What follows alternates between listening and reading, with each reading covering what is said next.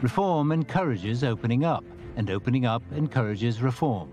China, as it adapts to the globalization trend, is swimming boldly into the open sea of the international market and continuously increasing its openness. Pudong, on the east bank of the Huangpu River opposite the Bund in Shanghai.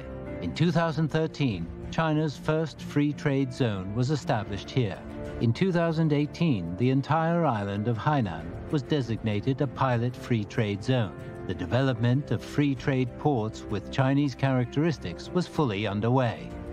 From north to south, from the coast to the hinterland, China has established 18 free trade zones over the past six years.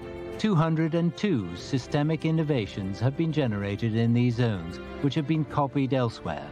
As a result, a more market-oriented international and legally based domestic business environment has been created. That the negative list for foreign investment access is getting shorter and shorter is a sign that China is opening its door ever wider.